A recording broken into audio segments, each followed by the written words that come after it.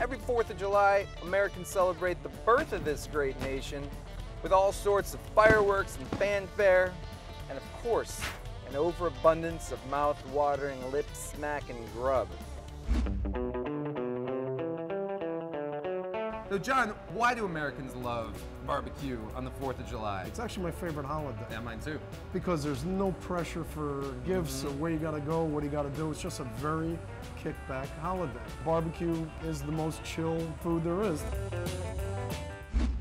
It's a southern tradition in the United States, but that comes from actually even further south. The Haitians in the West Indies mm-hmm. use the word barbacoa for the process of smoking their meat instead of just curing it in the sun. But how has it evolved, would you say? The German butchers in the turn of the century would take their tough cuts of meat, they'd put it on a fire, ah. they'd feed it to the field hands. And that Oh. became like the first commercial barbecue.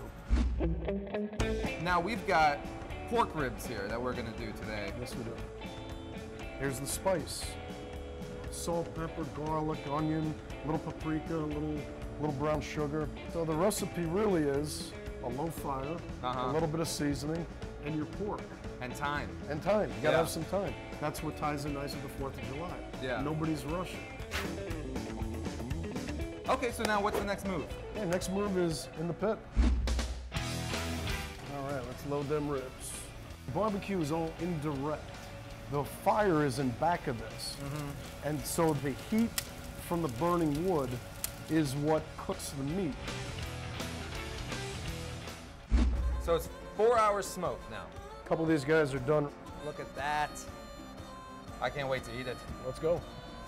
We're just caramelizing the other side, and then we're gonna glaze it with our barbecue sauce. Okay. And that's it. Okay. That's, uh, then we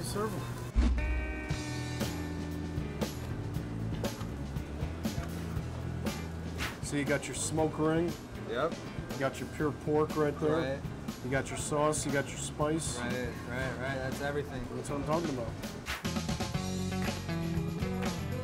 telling you, it pulls off the bone, doesn't tear. That is phenomenal. Tastes like freedom. Happy Independence Day. That's holiday foods. Barbecue.